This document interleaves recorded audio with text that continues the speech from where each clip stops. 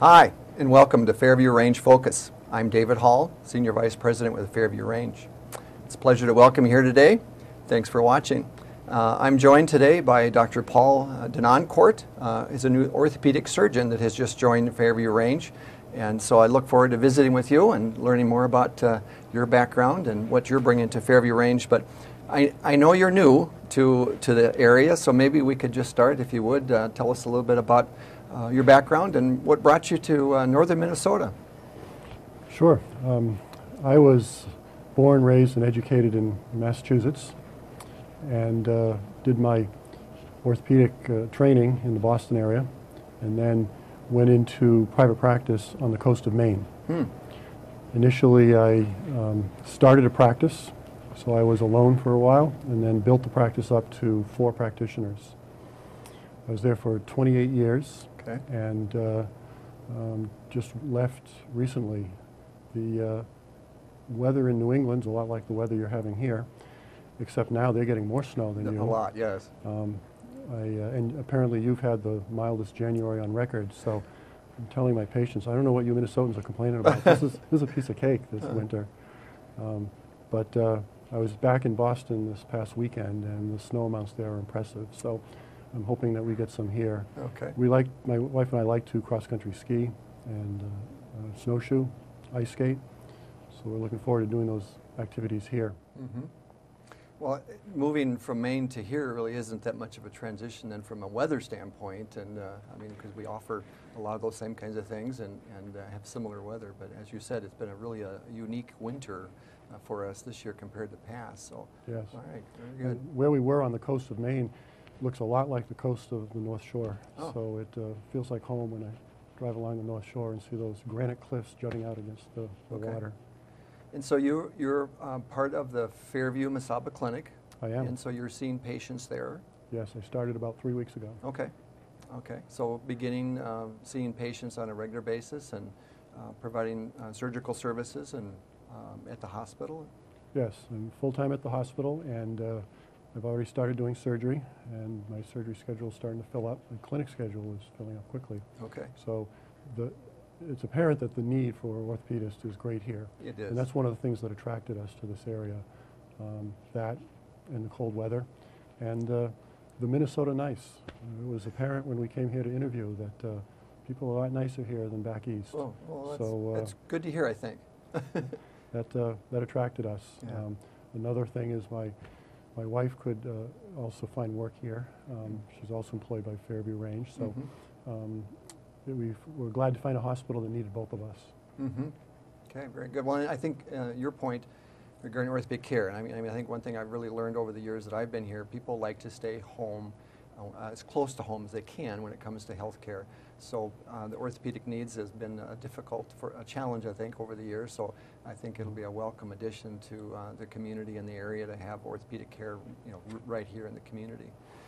As I see it, we'll probably need to expand and recruit other orthopedists as well, because Yeah. the need is so great that one person can't handle it all. I'm sure, right, okay. Maybe you could talk a little bit about orthopedic um, care from this standpoint. I mean, probably um, not everyone is as familiar um, as far as what kinds of services um, that orthopedics uh, Mhm. are offered and what kinds of things that you do. Maybe you could speak to that a little bit. Orthopedic surgery is the medical and surgical treatment of the musculoskeletal system. So that means we treat conditions and injuries of muscles, tendons, ligaments, bones, and joints. So the bread and butter of my practice is treating fractures, broken bones, um, also uh, arthritis of joints. Uh, my forte is hip and knee replacements Hmm. and I had a very busy joint replacement practice back in Maine. One third of my surgeries were joint replacements back there. Okay. So um, I plan on uh, being a general orthopedist with a forte in hip and knee replacements. Uh, that being said, that uh, we, we will see most orthopedic things, but I also know that, uh, that I and this hospital have some limits, and uh, that which we cannot take here, we'll make arrangements to have done at the university or at, in, in, Duluth where, the, where there are some subspecialists. Okay. How about um, uh, athletic-wise? I mean, I know that there's um, uh, individuals who, from uh, sports injuries, that can have issues with rotator cuffs and uh, torn cartilage and things of that nature. Is that also something that you treat? Yes, yes, I do. Uh, I was blessed with the um, fact that the chairman of my orthopedic department, at the University of Massachusetts, was also one of the um, co-owners of the Boston Red Sox. Oh, So uh, he was the medical director for the, the, the organization, and we took care of the Red Sox players. So I've had the, uh, the, the great joy of admitting ball players and, and, and assisting with surgery on them and helping to put them back together and get them back on the, on the field. But baseball isn't the only um, experience I have. Uh, I personally have been a long distance runner for quite a while. I've run several marathons, including the Boston Marathon twice. oh wow. And so I'm also interested in long distance running and, and other endurance sports. So we, my, my program had a heavy uh, bent towards sports medicine Okay. where I trained. Okay, so that's something that you would welcome as well. In, uh, young individuals uh, may, might have a sports injury or. Um, Older individuals have sports injuries too, okay. probably true. more often. Okay. Yep. Okay.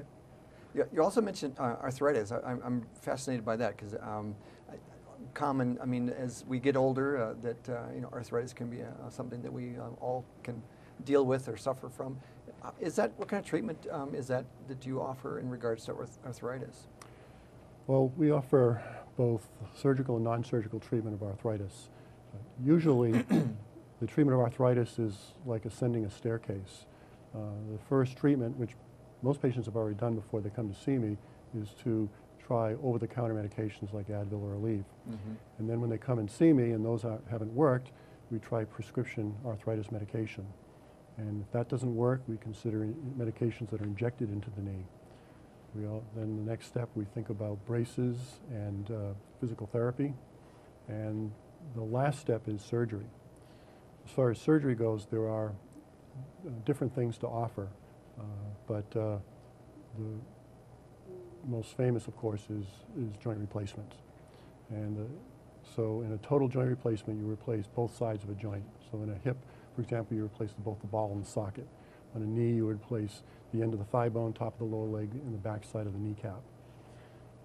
And as the technology is improving over the years, so are the outcomes with joint replacement. And people are able to accomplish more and more. It used to be that you had to be retired and, and uh, not very active to have a joint replacement.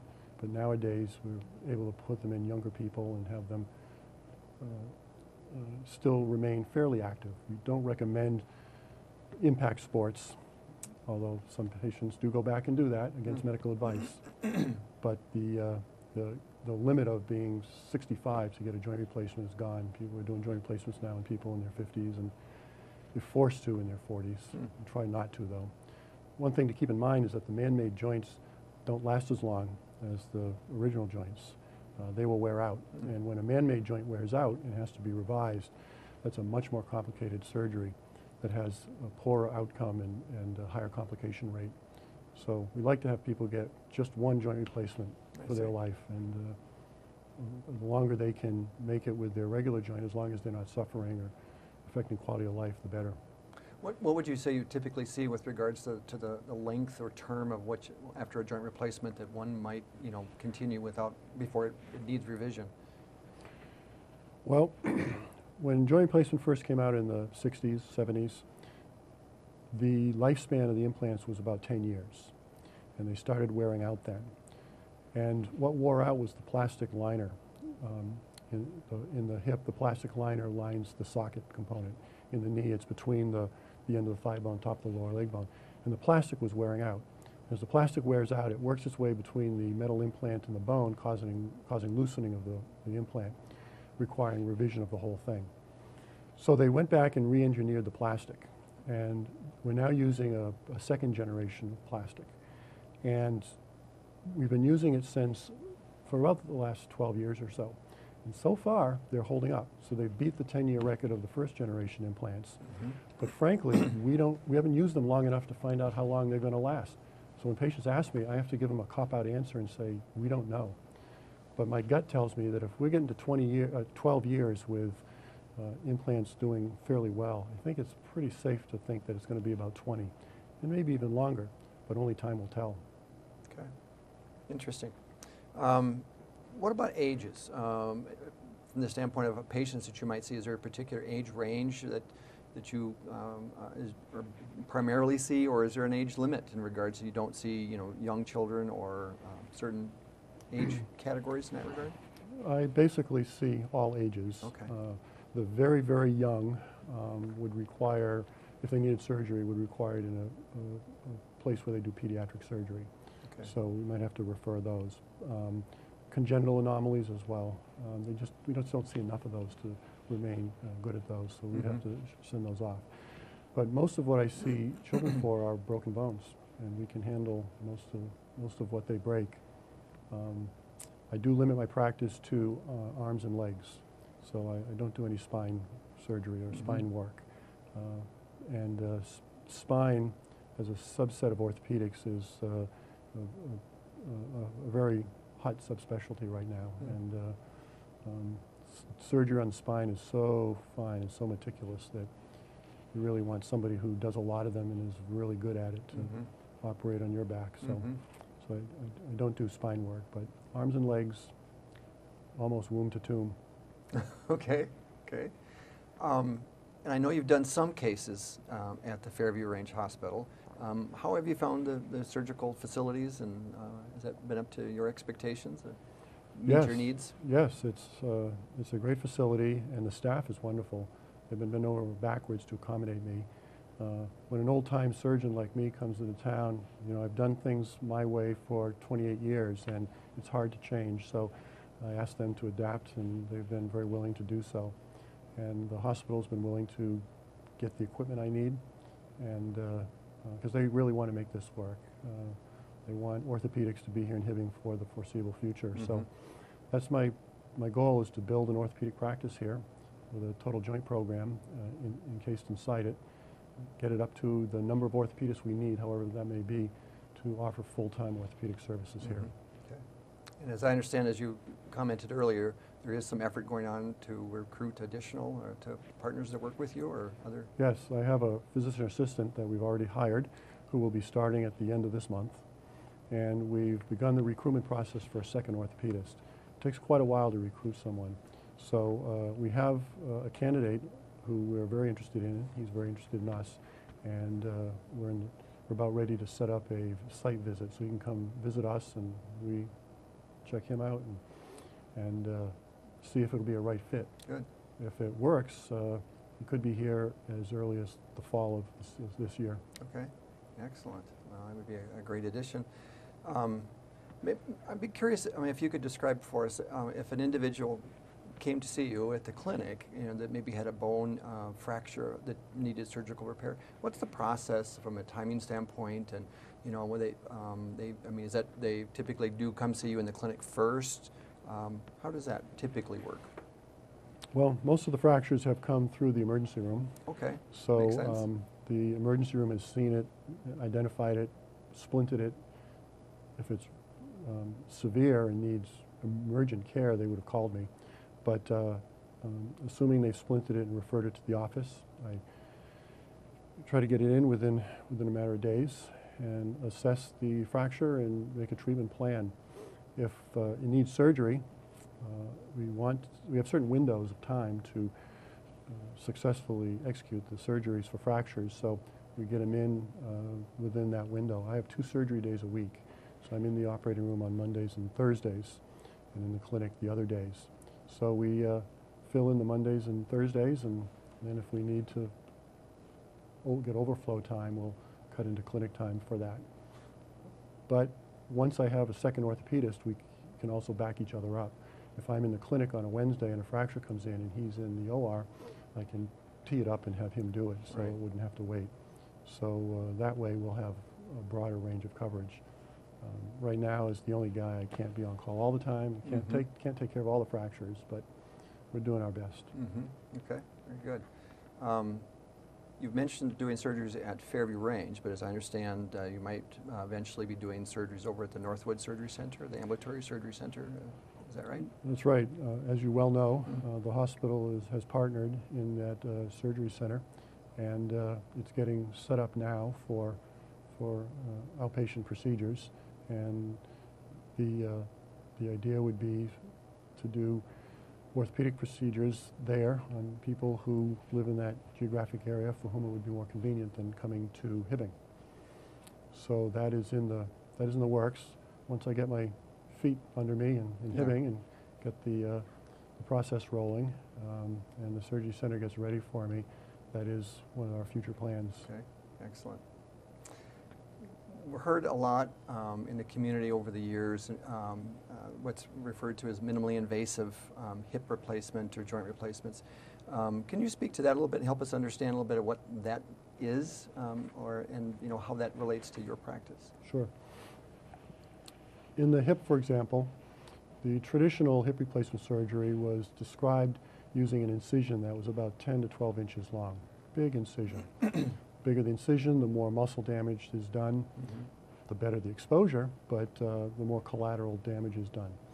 And as we have become better and better at surgery over the years, we've been able to shorten the incisions.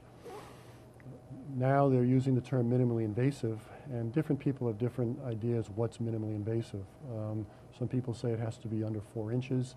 Um, I think it's more, you know, it really doesn't depend on how long the skin incision is as to how much soft tissue damage you do. You can make a very short incision and then really rip up the muscles underneath um, in a much longer um, pattern. So um, it's, it's more than just how short the incision is, it's also soft tissue technique. Mhm.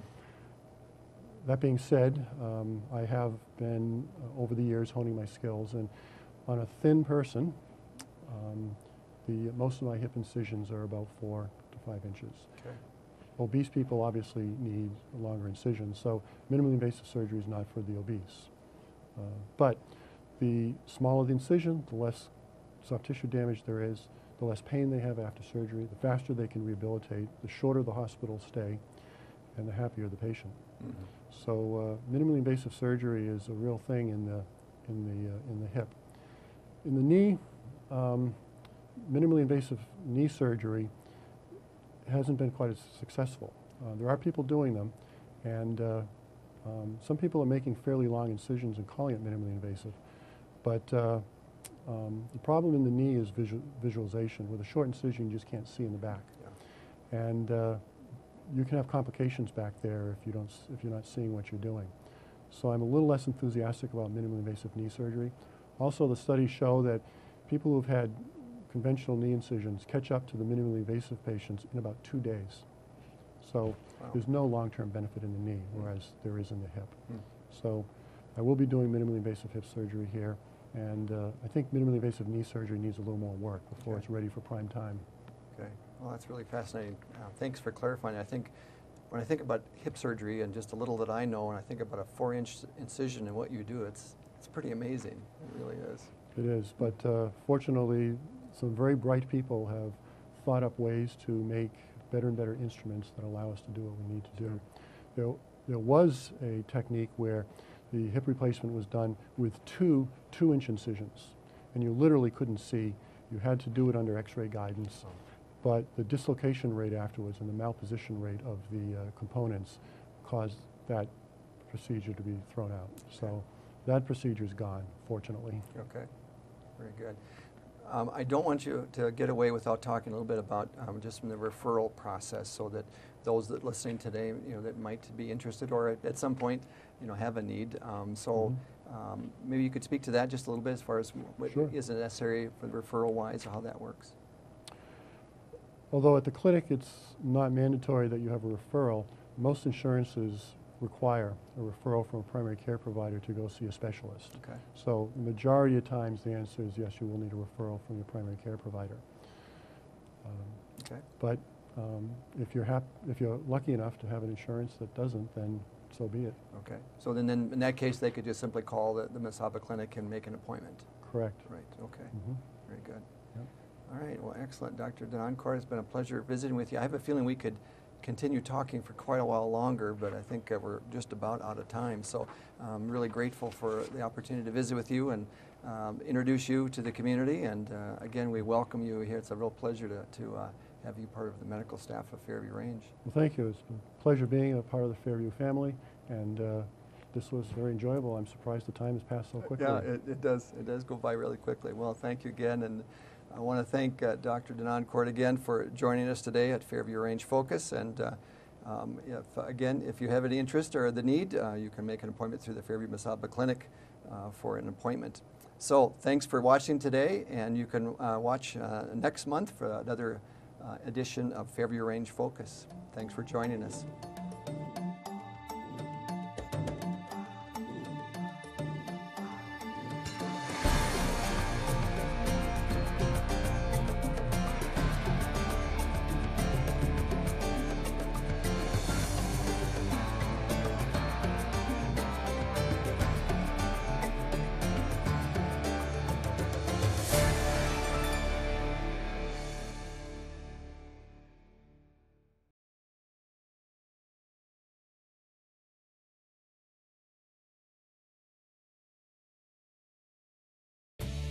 Hibbing Public Access Television would like to thank U.S. Bank for providing us with studio space.